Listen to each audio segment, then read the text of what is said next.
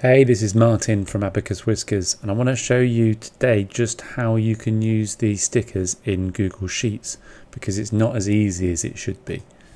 So, yes, you can move them around, you can resize them, and that bit is easy. It works how you think it should.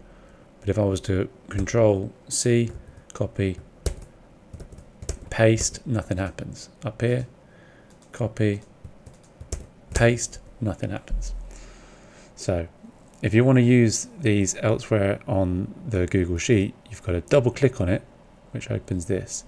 And then in here, you can then drag a box over both bits or all bits, whatever it is in there. Then you can copy, okay? Save and close. And then you go to wherever you want it. Maybe want it on my to-do list. And then you have to then go insert, insert a drawing, and then you can paste it into here. And there it is. And you like I say you can resize it you can change the proportions you can uh, edit the text you can change the font however you want to change it um, that's a bit better uh, proportions wise and so you can do that however you want but yeah it's, it's a frustration for me that you can't just do control C copy or edit control and then paste. But um, let's just show you again with one of our hearts. Let's take this heart. I can't do it, so double click on it.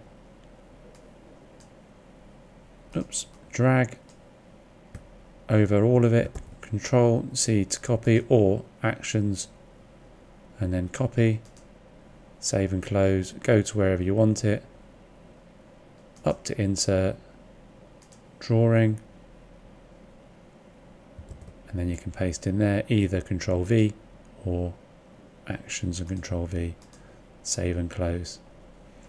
And this works exactly the same for any other um, uh, stickers or whatever. You want to try and find uh, JPEGs. If you use JPEGs will have a white background or a background on it and so they don't look as good.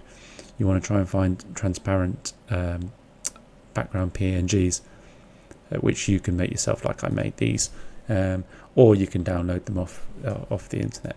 Okay. Uh, anyway, I hope that's useful, um, and that applies to any Google Sheet, not just our uh, our Google Sheet Teacher Planner.